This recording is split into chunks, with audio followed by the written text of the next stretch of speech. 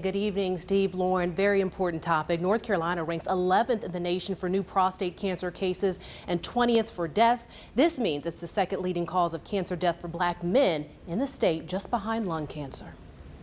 Noel Lane Jr. says he understands why Defense Secretary Lloyd Austin was private about his prostate diagnosis. Lane is a husband, father, and business executive from Durham who has his own story. I remember when I was diagnosed, I didn't tell my wife until I had to go for a biopsy.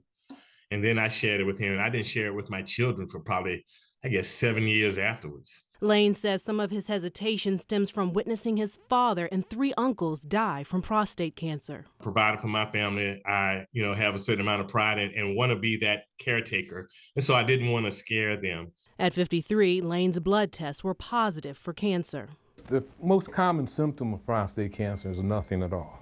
So it's very easy to ignore this. Black men are 1.7 times more likely to be diagnosed with prostate cancer and 2.3 times more likely to die compared to white men, according to UNC at Chapel Hill. If there's a family history, meaning there's a brother, uncle, or father with prostate cancer, men should start to be screened for prostate cancer or have a discussion with their doctors about being screened at a younger age somewhere around 40. Screening includes a physical portion and a blood test. And that's very informative in terms of identifying men who may be harboring prostate cancer and perhaps would then benefit from a prostate biopsy. Dr. Leroy Darks works in internal medicine and also leads the NC Minority Prostate Cancer Awareness Action Team.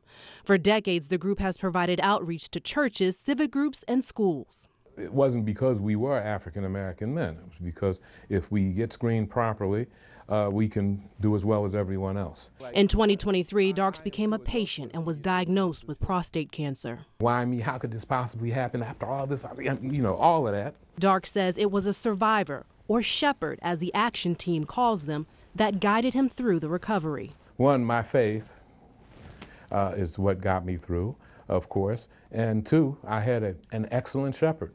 Early action and treatment for black men means life. What I would want men to hear and see is here I am. I'm a survivor.